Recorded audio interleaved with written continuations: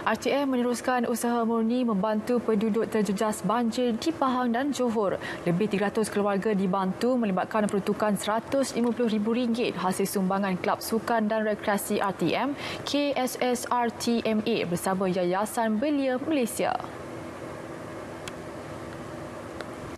Presiden KSRRTMA Puteri Joliana Yaakob menjelaskan misi akan menjengah ke tiga daerah terjejas iaitu Raub, Kuala Lipis dan Termeluk.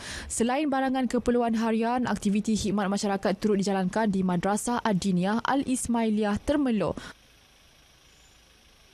So kita akan uh, buat program aktiviti memasang tika getah di madrasah tersebut.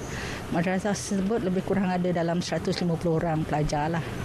Uh, kemudian a few uh, bantuan lagi kita akan serahkan dalam 60 keluarga di kawasan uh, sekitar madrasah itulah di kampung di sekitar madrasah.